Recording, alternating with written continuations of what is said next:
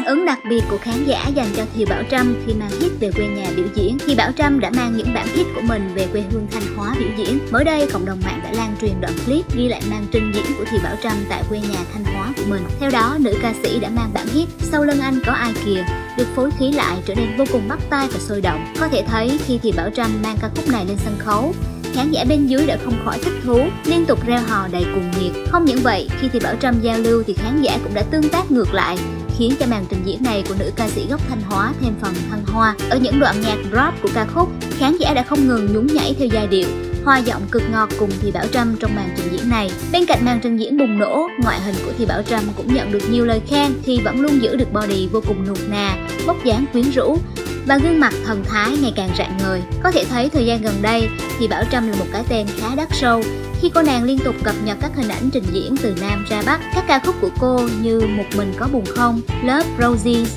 Sau lưng anh có ai kìa khi mang diễn live cũng nhận được nhiều sự hưởng ứng tốt từ công chúng. Thời gian qua, xuất hiện trên sân khấu với hình tượng ngọt ngào nhưng cũng nóng bỏng hết nấc khi thì Bảo Trâm thường xuyên lựa chọn cho mình những bộ váy ngắn tôn lên được tối đa chỉ số hình thể hoàn hảo của mình. Thế nên đã có một tài khoản thẳng thắn góp ý với Thì Bảo Trâm về phong cách thời trang của nữ ca sĩ. Thì Bảo Trâm rất xinh, chân dài nhưng nếu mặc váy không quá ngắn như thế này thì sẽ đẹp và thanh lịch hơn thử váy dài hơn chút nhá Trâm. Tuy nhiên, bình luận này đã nhanh chóng nhận được nhiều sự quan tâm từ cõi mạng.